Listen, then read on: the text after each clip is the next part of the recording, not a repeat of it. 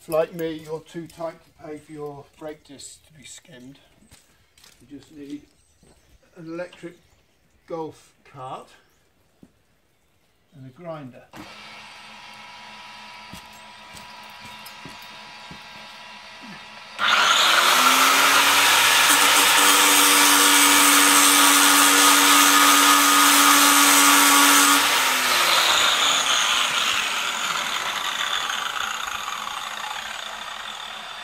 Well, it's a treat.